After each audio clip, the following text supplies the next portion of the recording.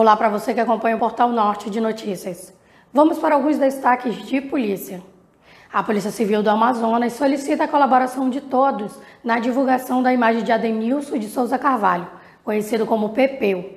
Ele é apontado como líder de um grupo investigado por ter cometido oito homicídios aqui na capital. E na madrugada dessa quarta-feira, a polícia apreendeu mais de 10 mil munições no porto de Manaus, no bairro Centro. O material foi enviado por criminosos da Colômbia e Bolívia. E a polícia prendeu Miguel Moreira Sabino, que também estava sendo procurado por envolvimento nos, nos homicídios na zona leste de Manaus. Se você quer saber mais detalhes de cada assunto, basta clicar nos links disponíveis abaixo.